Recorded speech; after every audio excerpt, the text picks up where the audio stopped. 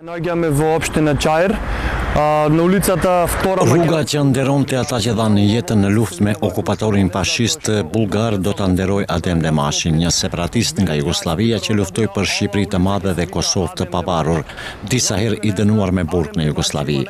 Mos t'ua vrasin sytë këto emra kur do të jenë në solemnitetin për riemërimin e kësaj rruge, kurse ata që miratuan këtë vendim, ta dinë se populli maqedonas nuk harron e nuk fal. Sot fshijnë kujtimet e rrugëve, parqeve, përmendoreve, nesër do t'u mbyshen librave shkollorë dhe historisë sonë. Populli maqedonas mjaft ishte zgjohu, vetëdijësohu dhe mos flenj. Vdekje fashizmit, liri popullit.